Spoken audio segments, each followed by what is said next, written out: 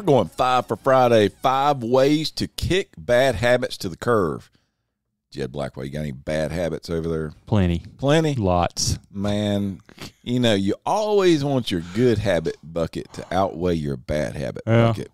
Yeah. It gets close sometimes, but It- it- it- man. It does. It, I think we all struggle with this, and some of the feedback we get with some of our groups and emails and things is, man, I just struggle. I can't kick these bad habits. I got these one or two things that just always keep holding me down. Here's here's what I want you to think about bad habits and good habits. Bad habits equal immediate pleasure and long term pain. Good habits equal immediate pain but long term pleasure. What, what do you think about that definition there? Well, I, I think that boils it down to exactly what it is. That's the truth, anyway. I was reading a book and, and it was talking about smoking, which smoking isn't as prevalent, but you know, in our we're 51, 50 and Yeah. 51. We grew up, man, everybody's everybody smoked. Yeah, 13, 14. Yeah. Yeah. And I, I, I was reading a book and it said if if if the second you took a drag off a cigarette, you immediately were stricken with lung cancer, nobody would ever smoke. True. But the fact that when for those people that smoked, that it gave it it gave them it immediately gave them the pleasure of that craving being gone, but the long term pain was coming. No different than drinking a big forty eight ounce big gulp True. of Coke or Mountain Dew. True. If you immediately went into a diabetic coma, Yeah. nobody would ever drink one. Probably a little bit different. Yeah. Yeah. But tastes really good at the time. It's true. And then it that long, but the long term pains. So so what we're what we're trying to do today is just give you give you just like we do on Five for Fridays, five things to help you kick these bad habits to the curve. And I believe that to kick one habit to the curve, you've got to bring another good one on. So number one, we're going to say, let's clear out the ob- obstacles. Take for instance, working out. So you're going to start a new workout regimen, and you're going to get up in the morning and you're going to go walk 30 minutes in your neighborhood. All right. What are some of the obstacles to that happening? Getting up in the morning. Getting up in the morning. Okay. That's one. yeah, that's number one. Not not hitting snooze. Well, what are some of the other things? Walking out the door, putting your shoes on, getting out the door. Yep. Finding too many other things that you should be doing with that 30 minutes or Yep. you think you should be doing with that 30 minutes. So you immediately wake up, Mm-hmm. and what what do you what are some of the things you have? Sometimes have you ever gone over? I'm going to go do something. I'm going to go work out. Go over to my drawer, open the drawer. Man, I can't find those shorts that I like to wear to work out. And man, what I do with my running shoes? Right. And now you're 15 minutes later than you intended to be. And boy, that's awful close to the time you got to start getting ready to go to work. Yeah, So let's just lay back down for a few minutes. Yep. So an example would be if you're going to work out the next in the morning, would be to get your clothes out, have your shoes ready, have a big bottle of water right there beside you, and the second you wake up, the only thing you've got to do is literally you've just got to put your shoes on. You got to get those short because once you get your shoes on, once you get your shorts on, once you drink a little water, get yourself a little hydrated, chances are at that point you're all in. Yeah, you're probably going to go. You're then. probably going to go. Yeah.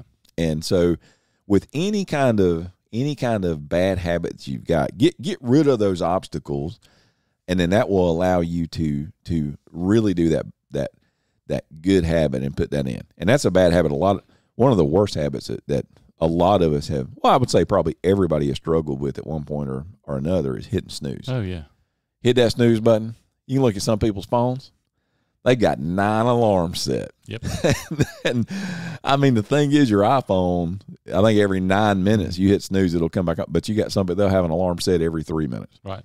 And, and I, I, I know someone very close to me. I actually, I actually live with this woman. I asked her, I said, why, why, why do you have all those alarms set? It's like, well, I like to, I know I set the first one, then I can, I've still Right. got some time I can sleep. Right. That- if you if you don't intend and and the person that I live with, if you don't intend to get up at six thirty, if if you're not getting up seven thirty, fine.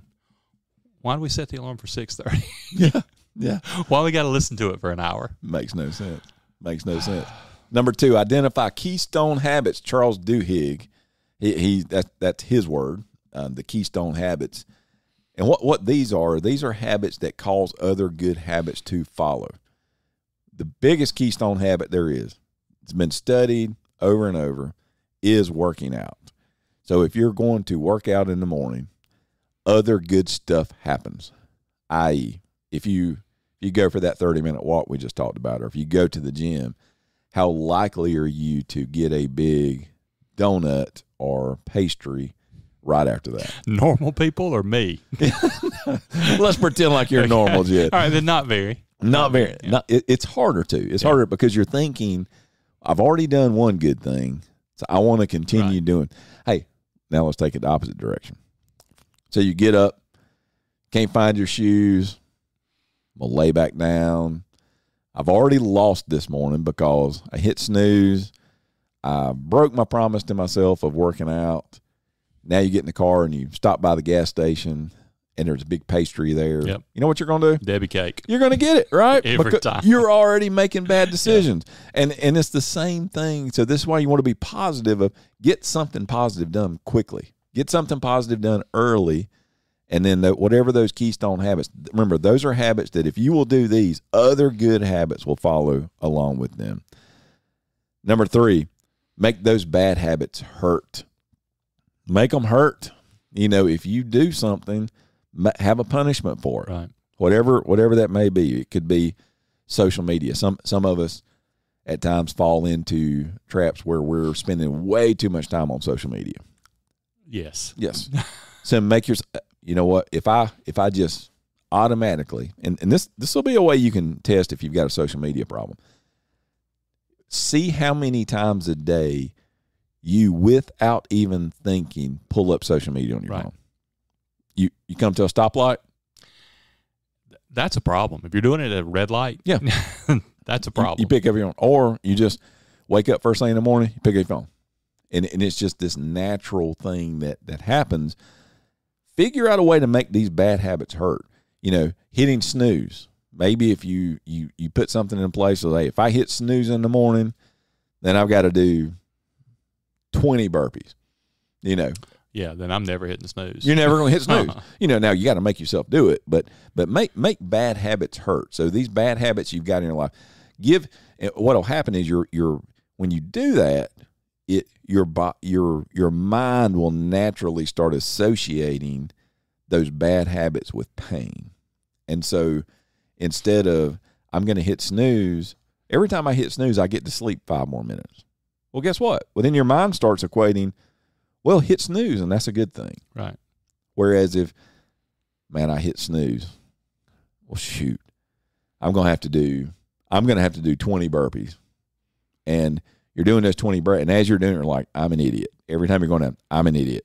I'm an idiot. Shouldn't hit snooze. I knew, I knew, I knew I didn't have to do that. Make those bad habits hurt. Your your mind will start equating it, and it will start preventing you from those bad bad habits. Number four, we, we talk about goals a lot on this podcast. You know, you know, I believe in goals, but I think they're overrated. I think setting goals can can be overrated. Where we just spend our whole time, whole life, just making a bunch of goals, and we never do put the systems in place to meet those goals. And that's where developing habits. That's where the magic happens. Develop these habits that will take you. I mean, set goals. We want goals. We we those are good but goals in themselves do nothing. It's the habits that you have to do. So develop habits that take you to your goals. And if you will develop good habits and figure out a way to to get rid of your bad habits, I think you'll be shocked at what you can do. I, I think we grossly underestimate how much progress we can make in a one year period.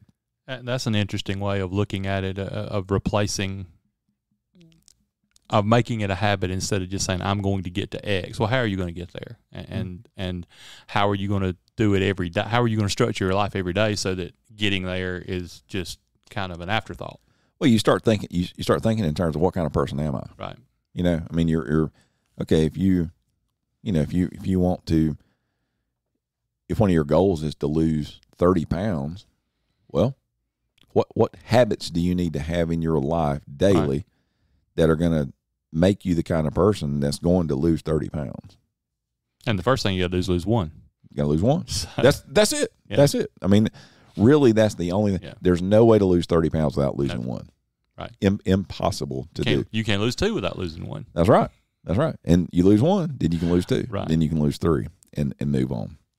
Number five, as we're wrapping this up, identify one bad habit to kill today and one good habit to implement immediately. We all know we're thinking right now in your mind. Listeners are, are thinking about, they know that one thing. Man, I, God, I need to get this out of my life. Whatever it could, whatever it may be, it, it's crystal clear in your mind what that bad habit is and it's probably also crystal crystal clear of that one good habit, that one thing you need to start doing today. Just do that. What you need, what a lot of you need, is you need you need you just need a small win to get this momentum rolling for you. You've been you've been letting yourself down. You've been caught up in this cycle of just bad habits and making the same mistake over and over. And you may have been doing this for a lifetime. You may have been doing it for the last couple of years. You may be in a funk. And if you will just get yourself a win right now, identify one bad habit and kill it today. Just stop doing it. You know, I'm not I'm not asking you for monumental change where you're changing 15 ha- pick one bad habit a day, kill it and replace it with one good habit and just see what happens. See what happens for a week. And then you will see that that it will it will make a difference in your life. And then what you'll do is you'll change another one and another one. And the next thing you know, like you said, you look up, we grossly underestimate the amount of change that can happen in a person's life in one year Correct. just Yeah. by making good decisions every single day. And with that, do hard things today, and tomorrow will take care of itself.